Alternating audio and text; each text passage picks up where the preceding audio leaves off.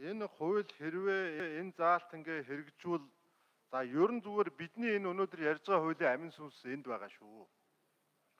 Өнөөдөр хорон дээр та бүхэн 15 мянгаас 20 мянган хүнтэй хорон дээр дөрвөн хүн тавьчаад тэр дотор хүүхэд хамгаалал явуулна эдэр гэж бодож байгаа бол эндүүрэл. Өнөөдөр ингээд нэг гарсан кейсэн дээр шаагилж шогшрол байгаа болохоос биш дахиж кейс гаргахын төлөө юм хийх хэрэгтэй байгаамаа. Тийм учраас Улаанбаатар хотод хорон дээр энэ 15-аас 20 мянган хүн дөрвөн хүн тавьчаад бид илрүүлэн барин сэргийлнэ гэвэл тэрэн шиг удлаа юм баг. 3 мянган хүнтэй сум нийгмийн бодлогын мэрэгжилтэн гэдэг ганцхан хүн дээр энэ хөдөлмөр халамж хамаг ямиг овоолцоод хүүхэд хамгаалал ярих байгаа бол бас судлаа. Аймгийн төвийн 6 мянган хүн дотор нэг чим хүүхэд хамгааллын ажилтан байхгүй 3 хүн тавьчаад хүүхдээ хамгаална гэвэл бас судлаа. Тийм учраас энийг 3000 гэж ингэж оруулж ирсэн юм аа. За 3000 гэдэг тоон бол энэ засгийн газрын бас нэг нийгмийн ажилтнуудын стандарт тогтоол байд юм билээ. 3000 хүн тутамд нэг байна гэж. За энэ хууль энэ заалт хэрвээ батлагдвал бид энэ хэрэгжих хугацааг нь 25 оны 1 сарын 1-ээс гэж ингэж үзэж байгаа маа.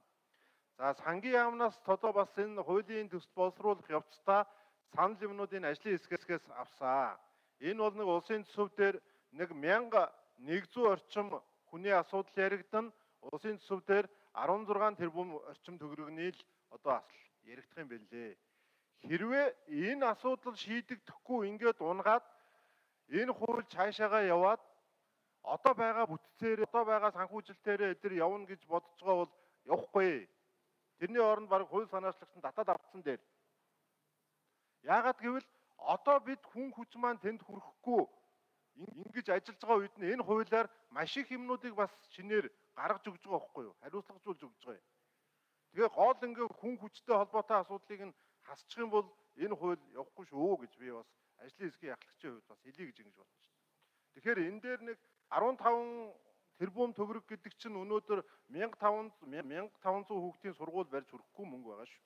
Энэ улсын хэмжээний тогтолцоог бид сайжруулах юмтай харьцуулахад би бол бас баг Монгол улсын төсөв энэ зэргийн имийг дагаа явчих болов уу гэж ингэж бодож байна. За, эдрөө тгш үг хэллээ.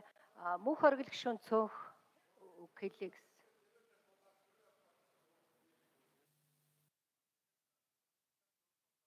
Баярлалаа. Нийгмийн бодлогын